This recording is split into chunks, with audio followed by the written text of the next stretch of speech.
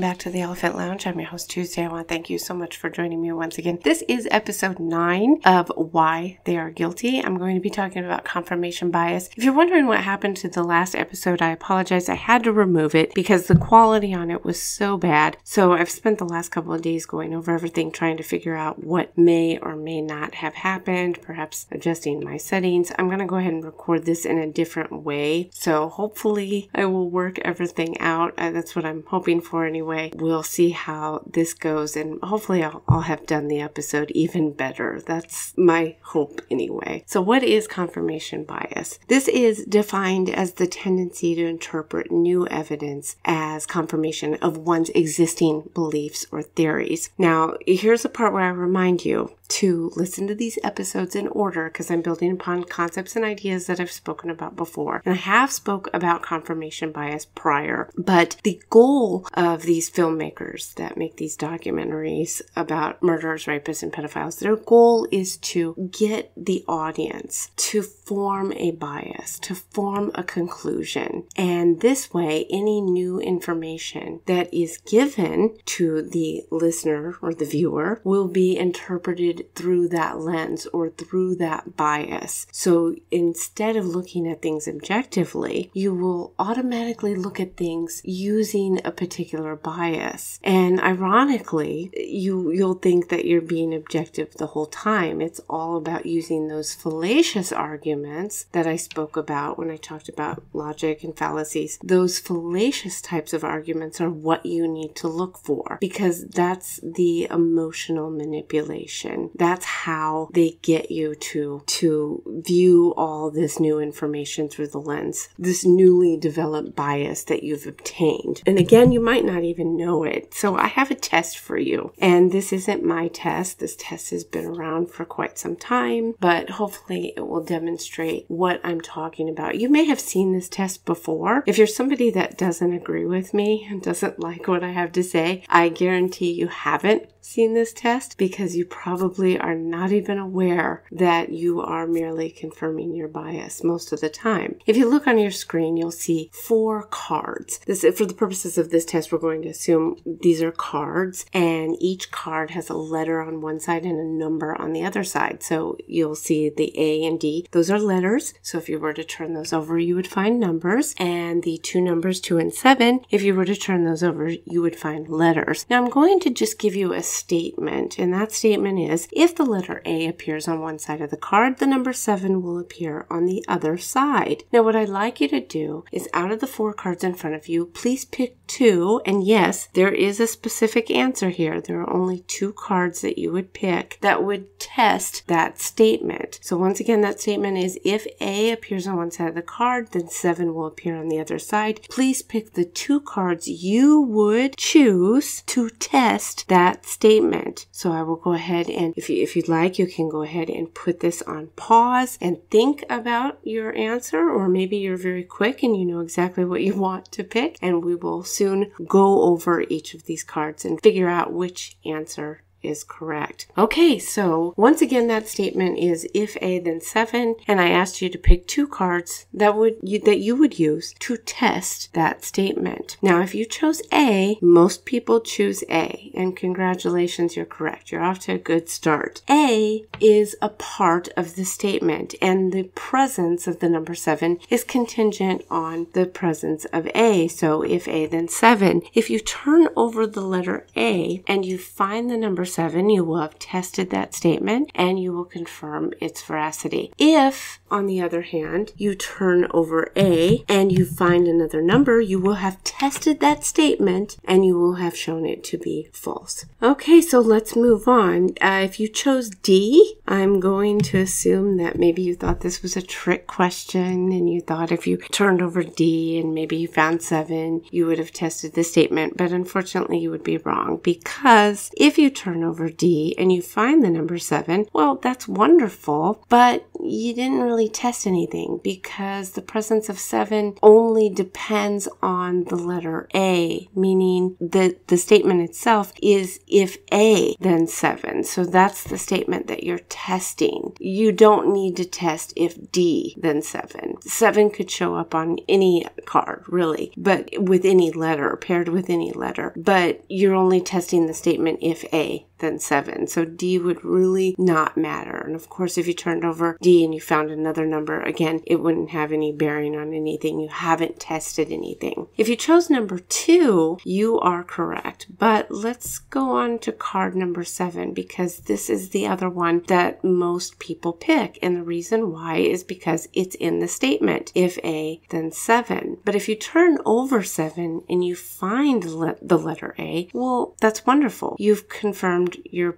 bias. What bias? You might ask me, you know, Tuesday, what are you talking about? What bias? The bias you formed when I told you the statement, if A, then seven. We as humans like to confirm what we've been told. So it's not testing the statement. We're just merely trying to confirm what we were told. So if I turn over seven and I find A, that's wonderful, but I haven't tested anything. I've merely confirmed a bias. And what's interesting about this test is that it's just letters and numbers. Who cares about letters and numbers? It's not even information that I'm emotionally attached to. It's not even something that I didn't even use any fallacious arguments to manipulate you into believing anything. I just merely made a statement. But again, we want two test that statement. We don't want to confirm our bias that we develop just hearing that statement. But if you chose to, you are correct because you are now testing the statement. If you turn over two and you find the letter A, then you've tested the statement and you can definitively show that it's false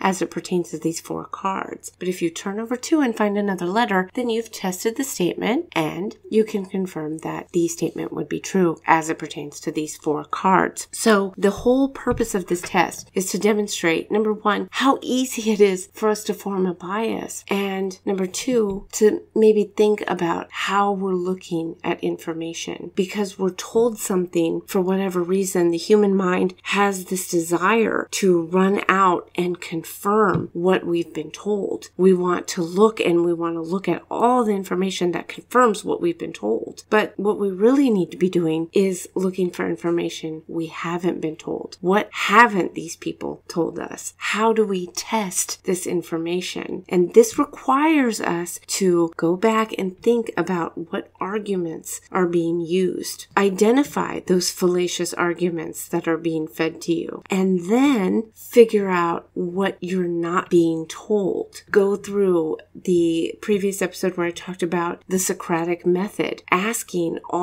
of the questions, going through the who, what, when, where, why, how, looking at primary source material, looking at what other people are saying, looking at the other side, getting outside of your box, as it were, looking at things with nuance and understanding that it's not always black, it's not always white. It's okay to have biases. It's okay to come to the table with whatever experiences you've had in life. It's part of what makes us unique. It's part of what forms our personality, but we need to be aware of what our biases are. If you're someone who's had bad experiences with the police or you know somebody that's had bad experiences, chances are you're going to view anything police do in a negative way. And you need to be weary of that. And you need to remind yourself of that, that not all police are bad, not all interactions are bad, that there is another side of the story. Maybe you're someone who has very good experiences with police, or you know, you have people in your family that are on the police force. You need to remember for you, you would need to remember that not all police are wonderful. Sometimes some police are bad. So we always have to be aware of what our biases are and then go out and test them. Always go out and test them. Always look at the arguments that are being made. Are they fallacious arguments? Are you being emotional? Emotionally manipulated? Are you just going out and trying to confirm what you've been told? I've talked a lot about Michael Jackson on this channel. I have an entire series about Michael Jackson and exploring all of the propaganda that surrounds Michael Jackson. And the reason this case, or I mean, I don't know what you want to call it, there's many cases around Michael Jackson, but it, it, it's sort of a, an interesting story because so many of us were affected by Michael Jackson propaganda. We were told for years and years upon years that he was this wonderful person. He's so talented. He's so wonderful. He's so nice. And of course, the line of, he didn't have a childhood. Everyone needs to everyone needs to know he just loves the little children. Well, unfortunately, he loved the children a little bit too much. Um, but of course, he didn't think he was hurting a child because in his mind, that's how pedophiles think. They don't think that they're hurting anybody. But if you're told this over and over again, what happens is you go out and you look for information, but you look for information that confirms good things about Michael Jackson. You you go out and you look for all the things that confirm your bias about Michael Jackson. And unfortunately, you haven't tested anything. So that's why we still have these fans that pop up out of nowhere. I mean, they're they're on the internet, but they're always out there. They're always fighting and defending Michael. But the problem is they're not looking for any information. They're not interested in the truth. The only thing they're interested in is information that confirms their bias. And anything that doesn't jive with that conclusion is dismissed or it's called a lie or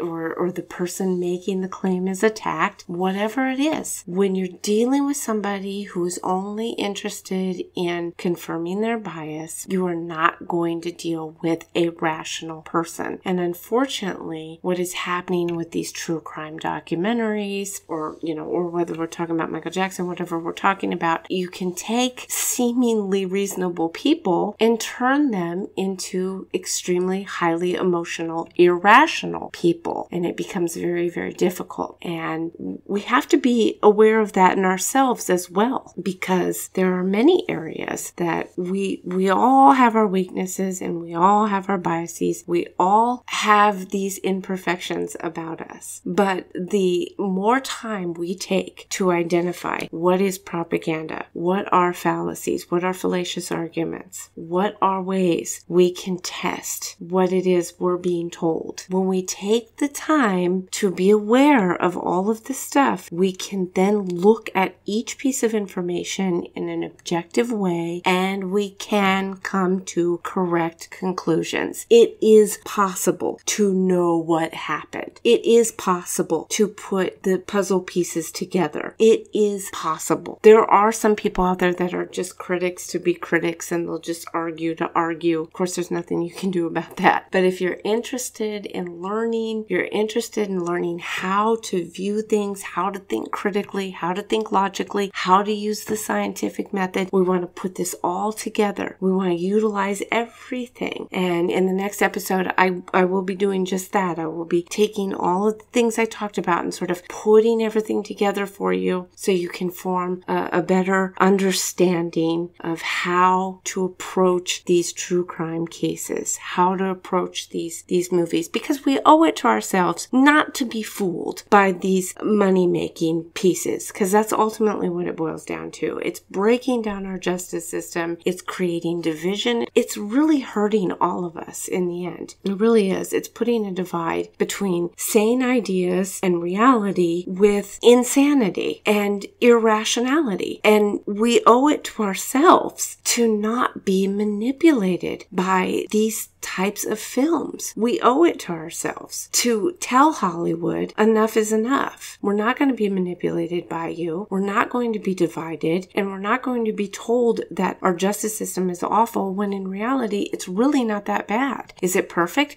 No, it's not perfect. It never will be perfect, but it's not that bad. It really isn't that darn bad. And the cases that they're using, I mean, lately it's been the Rodney Reed. We had the Central Park Five. There, there's several of these documentaries that are being made. It's just garbage. Just garbage. We got more stuff being made about West Memphis 3. They're guilty. They're guilty as as guilty can be. It's a joke what these people are trying to tell us, the way they manipulate things, the way they twist things. And they get you to believe in something and the next thing you know you're inadvertently supporting a rapist a pedophile a murderer and you you're not even aware of it. Most of these people are not even aware that they've been manipulated because they're not aware of all of the th- all of these topics that I've been talking about. And confirmation bias is the biggest one and we're all guilty of it everybody's guilty of confirmation bias everybody but once you're aware of it and you look for it. And as I said, you put all the other information together and you start thinking about it and looking at things objectively, it becomes much easier to figure out what's going on, especially as it pertains to these cases, because there are answers here. When it comes to these true crimes and stuff, there are answers and there are facts. Not everything is a mystery. A lot of times it's just a mystery if you make it a mystery. Okay, so in the next episode, as I said, I'm going to be tying everything together, putting everything together in a nice big bow for everyone. And I believe that will make 10 episodes of why they are guilty. In the meantime, if you like and you have any questions or if there's something you'd like me to go over or if you feel I've missed something, please go ahead and let me know. And I will love to hear from you. I hope everyone is doing okay and staying